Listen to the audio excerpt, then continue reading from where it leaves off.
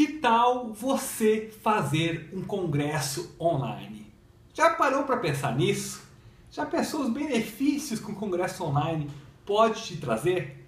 Pois bem, estou compartilhando aqui como que eu fiz para sair do ponto A para o ponto B. A pergunta do Luiz da minha audiência. Nos dois últimos vídeos eu comentei como é que eu cheguei até a ideia, a concepção do primeiro congresso online do Brasil, que foi o CONAED, o Congresso Nacional de Empreendedorismo Digital, que é como eu estreiei no nicho de negócios digitais. Ok, eu já fiz algumas vezes esse congresso, né? já fiz quatro vezes o CONAED, já fiz também o CONA Coaching, o Congresso Nacional de Coaching, que é do Bruno Giuliani, mas nos bastidores fui eu que trouxe a tecnologia de congresso online para ele. E aí, no Congresso Online, hoje eu tenho um treinamento né, intensivo de dois dias. Já fiz algumas turmas desse treinamento aqui em São Paulo. Se você tiver interessado, inclusive, pode mandar um e-mail para alan.conaed.com.br caso você tenha interesse em fazer um congresso online. Bom, o congresso online, para quem não conhece, é você juntar alguns especialistas de um determinado nicho e gravar entrevistas ou palestras desses especialistas, transmitir isso abertamente na internet, gratuitamente, com isso atrair uma multidão de pessoas até você, construir uma grande lista com isso, já gerando engajamento, porque você já vai estar entregando valor através do conteúdo do congresso online. Como eu falo, primeiro Conaed nós chegamos em 4.907 pessoas de 42 ou 43 países, não me engano. Para você ter uma ideia, no segundo Conaed a gente chegou a 10.308 pessoas de 70 e alguns países, sendo que a somatória do faturamento dos dois congressos né, chegou ali na casa mais ou menos dos 700 mil reais nos dois primeiros congressos, só para você ter uma ideia. Alan, como é que você monetiza algo que você transmite gratuitamente? Pois bem, o Congresso Online é isso, você transmite gratuitamente, depois você coloca algo para vender, você cria como se fosse um curso, um pacote para que as pessoas possam adquirir, uma vez que elas já conheceram você, já confiam no seu trabalho, você já mostrou para ela quão bom é aquilo que você pode, é, é você está oferecendo, e aí então as pessoas compram o que você oferecer a partir desse momento. O Congresso Online tem diversas vantagens. Uma delas é você construir a lista, essa lista engajada, como eu comentei. Outra vantagem é que quando você está ali apresentando o congresso, estando junto de outros especialistas, o público reconhece você como especialista em determinado nicho. E o Congresso Online não serve só para negócios digitais. Eu estreiei porque era o momento. Os negócios digitais estavam no momento de dar um salto de quantidade de pessoas ali no mercado. Então o Conaed serviu para trazer muita gente para esse mercado. Mas na verdade você pode fazer um congresso online de, de, qualquer área praticamente. Na verdade não qualquer área, ok? Existem algumas exceções. Se você tem essa dúvida, como eu falei, me manda um e-mail e fala, Alan, nesse nicho que eu estou querendo atuar, serve um congresso online? E eu vou te responder, tá bom? Manda esse e-mail para mim, alan.conaed.com.br. Ok? Então, mas boa parte dos nichos faz sentido ter um ou vários congressos online.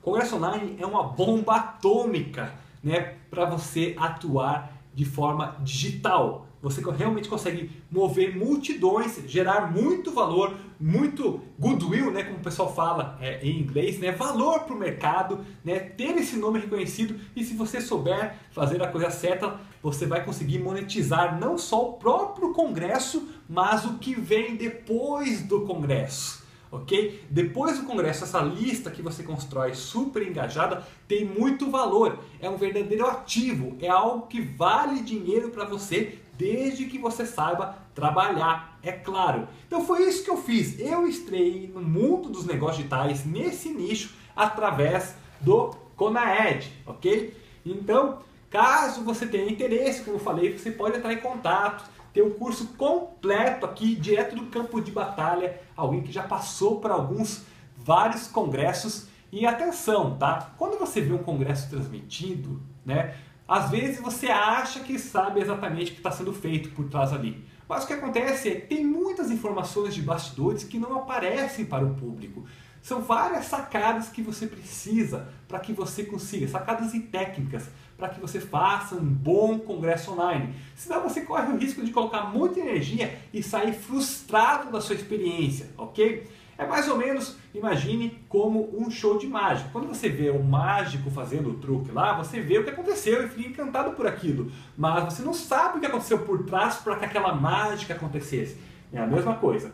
Caso você tenha interesse, então, eu terei grande prazer em compartilhar todo o meu conhecimento com você, né, que a gente coloca aqui nesse curso, como você está vendo aqui, uma apostila, que tem exatamente todo passo a passo que você precisa para fazer o congresso, desde a concepção dele, o planejamento dele, a montagem, a transmissão, a parte de monetização e tudo mais. Tudo passo a passo com muitas dicas, erros e acertos de quem já passou por isso.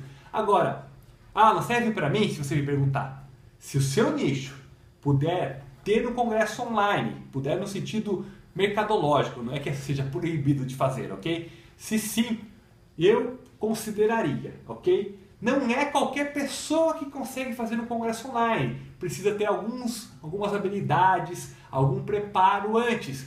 Então, como eu disse, se você está em dúvida se é para você ou não, me manda um e-mail, estou reforçando isso, porque eu posso lá ser muito franco com você para ver se faz sentido ou não você fazer um congresso online, ok? Congresso online ele exige muito esforço, ok? Por isso existe também muita preparação para que a coisa seja bem sucedida.